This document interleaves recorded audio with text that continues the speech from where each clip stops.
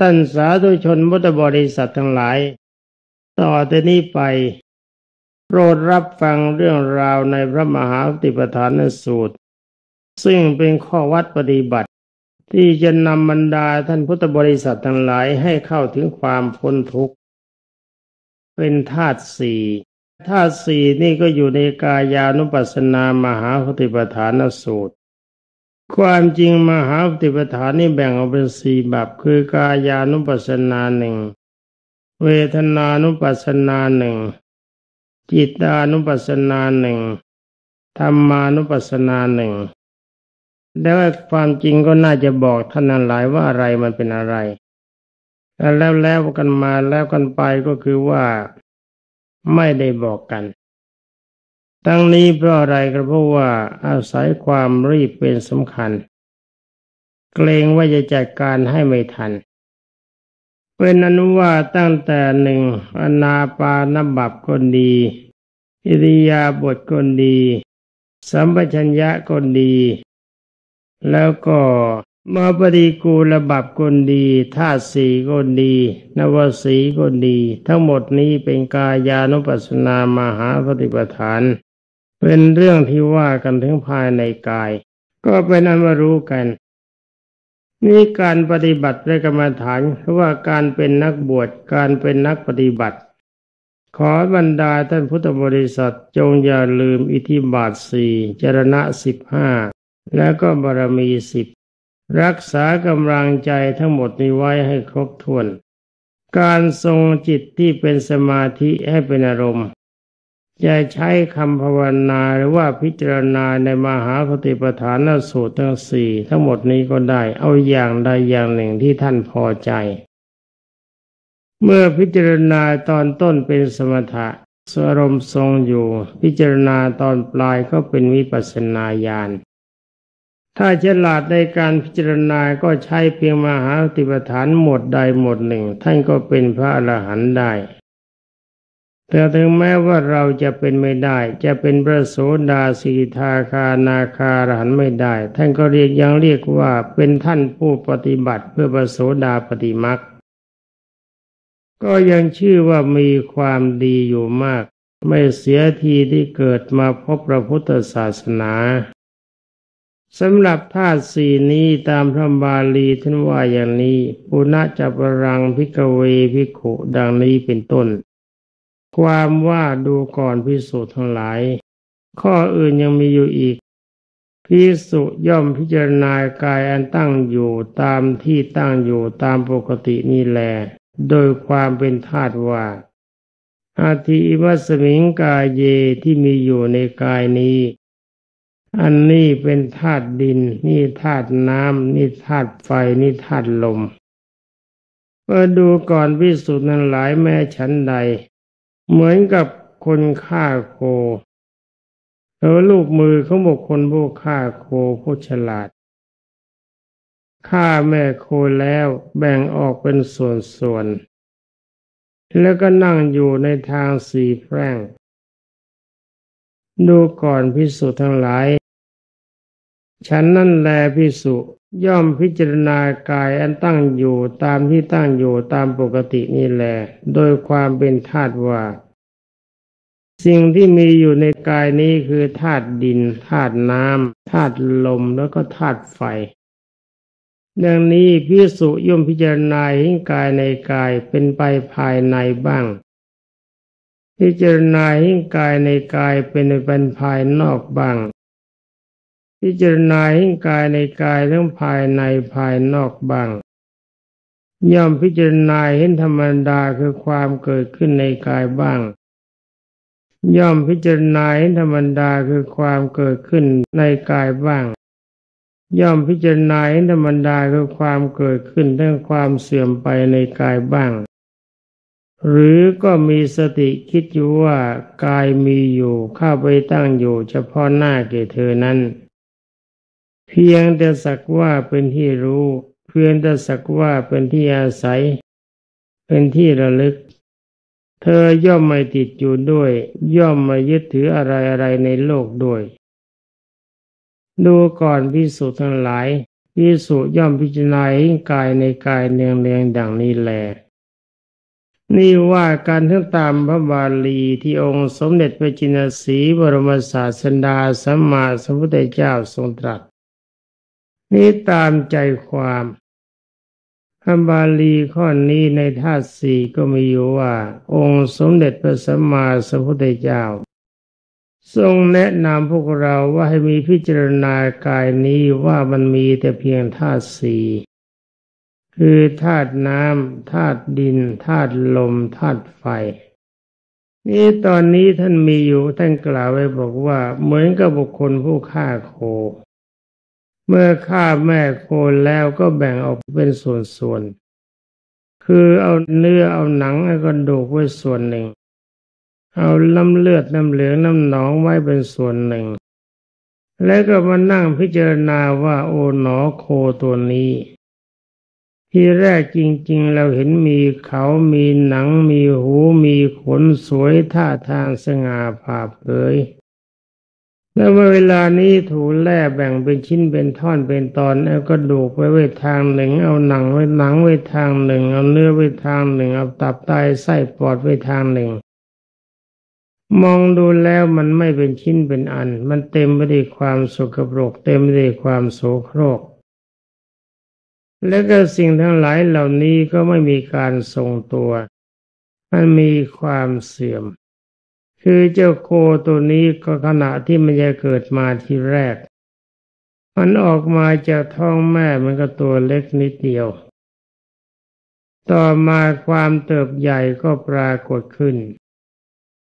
เมื่อปรากฏความเติบความโตขึ้นมาแล้วมีเนื้อหนังสมบูรณ์บริบูรณ์ เราก็เห็นว่าเป็นโคสวยน่ารัก แต่เวลานี้เราแลกไปไว้เป็นส่วน นี่เราหาความสวยสดงดงามความในความเป็นโคของเธอไม่ได้เลย ไม่มีอะไรตรงไหนของโคน่ารัก เพ่งกล่าวว่าข้อนี้มีอุปมาชั้นใด พระโยคาวาจรทั้งหลายที่เจริญพระกรรมฐานก็ต้องใช้ปัญญาพิจารณา ท่านให้ใช้จิตพิจารณาว่าร่างกายของเรานี้ก็เหมือนกับร่างกายของโคที่ถูกเชือดแล้ว ความจริงที่เราเห็นว่ามันเป็นแท่งทึบ เป็นร่างกายเป็นเรือร่างขึ้นมา เนื้อแท้จริง ๆ ของมันก็คือธาตุสี่คือธาตุน้ำธาตุดินธาตุลมธาตุไฟ ส่วนที่มีความแข็งเช่นหนังก็ดี เนื้อก็ดีกระดูกก็ดี อย่างนี้ที่มีอยู่ในกายเรียกว่าธาตุดินความเหลวในร่างกายที่มีน้ำลายน้ำเลือดน้ำเหลืองน้ำหนองปัสสาวะเป็นต้นนั่นหลายเหล่านี้เป็นธาตุน้ำอาการที่พัดไปในร่างกายมีลมหายใจเขาออกเป็นต้นเรียกว่าธาตุลม ความอบอุ่นในร่างกายเรียกกันว่าธาตุไฟ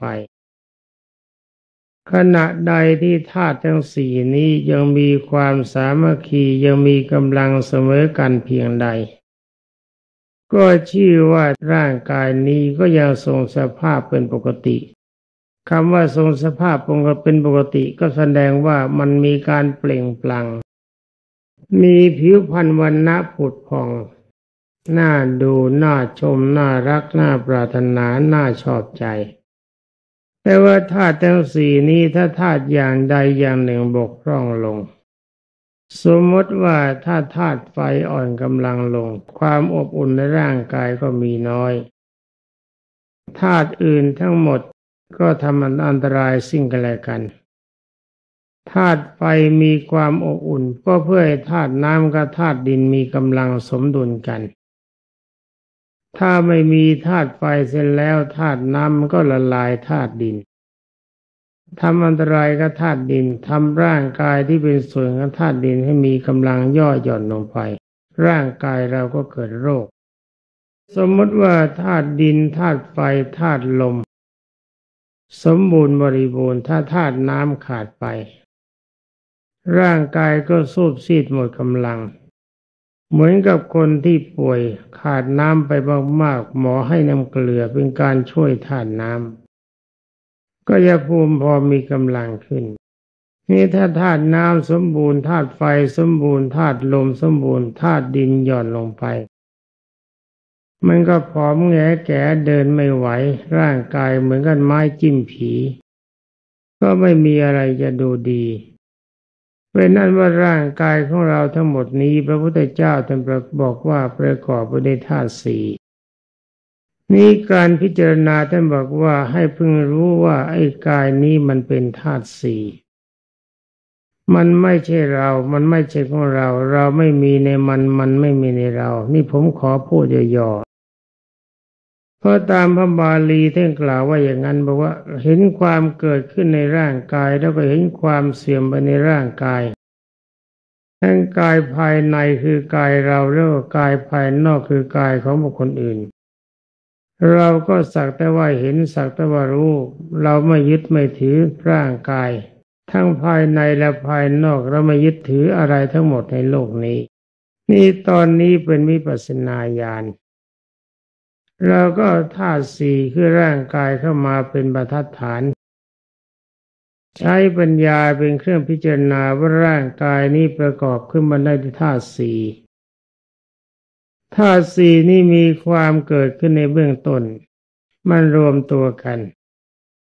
ในขณะแรกมันมีความสมบูรณ์บริบูรณ์รวมตัวกันดี หน้าตาผิวพรรณเปล่งปลั่งสวยสดงดงามมีกำลังวางชาดี อันนี้ในการต่อไปธาตุสี่นี้เมื่อมันมีความเจริญถึงที่สุด ความเสื่อมมันก็ปรากฏ หมายความว่ามันเข้าถึงจุดอิ่มเหมือนกับน้ำที่เขาใส่ไว้เต็มถัง มองดูถังก็เต็มสมบูรณ์บริบูรณ์ชื่นใจ นี่ว่ากระแสน้ำที่ไหลเข้ามาขังอยู่ในอ่างที่เขากักไว้อ่างเมื่อเต็มมีน้ำเต็มเปี่ยมแล้วก็มีความชื่นใจ เห็นความผ่องใสของน้ำตอนนี้สำหรับน้ำที่เต็มแล้วเขาก็ยับยั้งน้ำเก่า น้ำที่หลังไหลส่งเข้ามาในอ่างเขาก็ยับยั้งไม่ไหลกลับมาใหม่ลอยให้น้ำในอ่างนั้นทรงอยู่ตามอัตภาพของมันเอง ตอนนี้ระบรรดาท่านพุทธบริษัท อาการระเหยน้ำระเหยขึ้นไปบนอากาศบ้าง ซึมไปตามแผ่นดินบ้าง น้ำมันก็ยันน้อยลงไปทุกทีทุกที น้ำเก่าหมดไปน้ำใหม่ไม่เข้ามาถึงแทนที่จะมีมาบ้างก็เล็กน้อยไม่พอสมดุลกัน ก็เหมือนกับร่างกายของบุคคลเราที่หนุ่มสาวเต็มที่แล้วเมื่อความแก่เข้ามาทิ้ง มันก็จะพบกับความสุดโทมร่างกายก็จะห่อใจเหี่ยว จะสูบจะซีดไปทีละน้อยละน้อย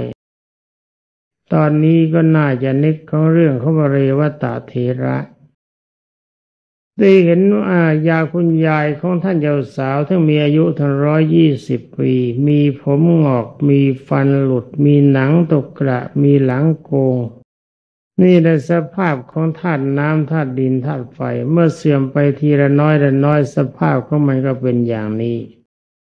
ในที่สุดคำที่เราว่าดีคือความผ่องใสความสวยสดงดงามมันก็ไม่ปรากฏ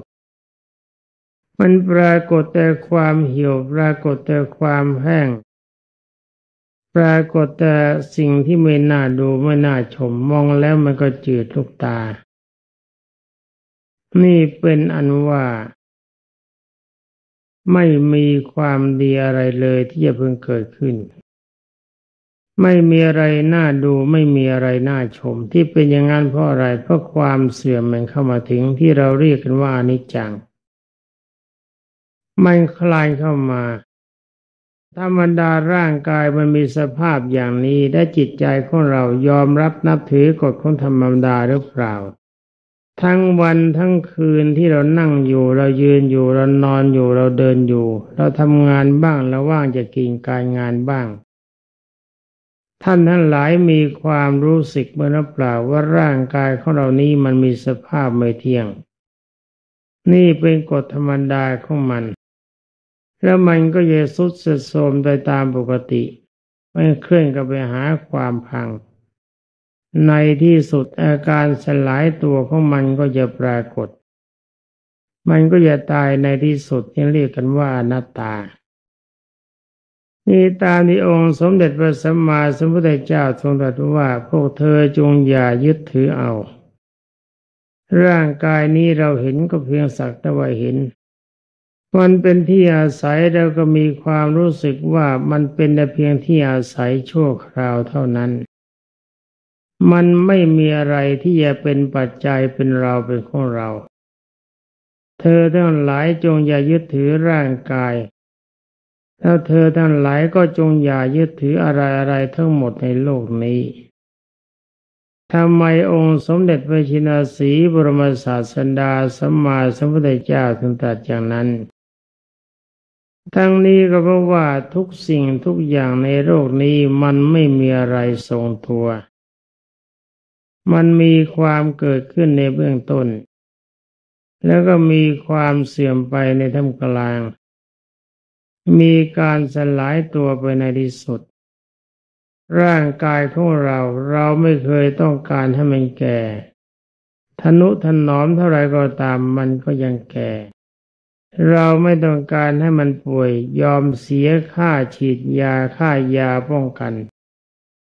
ค่าหมอตรวจสักเท่าไรก็ตามที ก็ยับยั้งอาการป่วยของร่างกายไม่ได้ ก็ธรรมดาของมันเป็นอย่างนั้น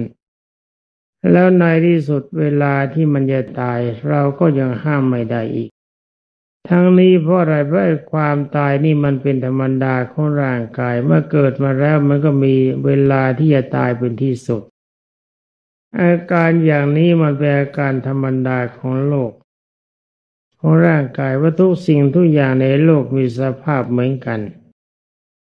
องค์สมเด็จพระพุทธวันกล่าวว่าจงถือว่าสิ่งทั้งหลายเหล่านี้มันเป็นธรรมดา คือการเกิดขึ้นและว่าความเสื่อมไปของร่างกายนี่เป็นธรรมดาการที่รู้ว่าเป็นธรรมดาก็แสดงว่าจิตของเราไม่เข้าไปยึดว่ามันเป็นเราเป็นของเรา เราวางภาระคือร่างกายฉันได้แล้ว เราไม่ยึดถือว่ามันเป็นเราเป็นของเราเมื่อมันเกิดขึ้นมาแล้วมันจะแก่ เราทราบว่าธรรมดาของมันจะแก่ ความเดือดร้อนเมื่อมันแก่เราก็ไม่เกิดขึ้น ถ้าการป่วยไข้ไม่สบายปรากฏขึ้นเราก็ทราบชัดว่าอาการทั้งหลายเหล่านี้มันเป็นของธรรมดา ความสะดุ้งสะเทือนของใจความเดือดร้อนมันก็ไม่เกิดขึ้น เมื่อความตายมันจะมาถึงเราก็ไม่หนักใจ เพราะทราบแล้วว่ามันจะตายเรื่องทรัพย์สินทั้งหลายในโลกก็มีสภาพเหมือนกัน เราไม่ยึดถืออะไรเป็นเราเป็นของเรา เมื่อมีอยู่มีชีวิตอยู่ก็อาศัยมัน เราก็ใช้มันเมื่อตายแล้วมันก็ตายไป มันจะหายก็หายไป มันจะพังมันก็พังไป หรือว่ามันยังอยู่เราตายเราก็ไม่มีความห่วงใยในมัน นี่ระบรรดาท่านพุทธบริษัททุกท่านที่องค์สมเด็จพระพุทธทรงท่านบรมศาสดาสอนไม่ยึดถือก็เรียกว่าให้ใช้สกายทิฏฐิ พิจารณาเป็นตัวตัดกิเลส เพราะกิเลสทั้งหมดเราตัดด้วยอาการอย่างเดียวคือสกายทิฏฐิ พิจารณาว่าร่างกายนี่มันไม่ใช่เราไม่ใช่ของเรา เราไม่มีในร่างกายร่างกายไม่มีในเรา แต่ความรู้สึกอย่างนี้มีความรู้สึกว่าร่างกายเป็นเรือนร่างที่อาศัยชั่วคราวเท่านั้นหรือเป็นบ้านเช่าที่อาศัยทั่วคราว ไม่ช้าเราก็ต้องไปจากมัน แต่ว่าไปแล้วเราก็จะขอไปรับไม่ยอมไม่ขอยอมกลับมาพบกับร่างกายที่เต็มไปด้วยความทุกข์อย่างนี้อีก คือเราไม่ยึดถือว่าร่างกายเป็นเราเป็นของเรา อย่างนี้ชื่อว่าเข้าถึงอริยสัจในข้อที่สังโยคคนหนึ่งที่เรียกว่าสกายทิฏฐิถ้ารมอย่างนี้ปรากฏขึ้นแสดงว่าเราก็ไม่สงสัยตัดวิจิกิจฉาใช่ได้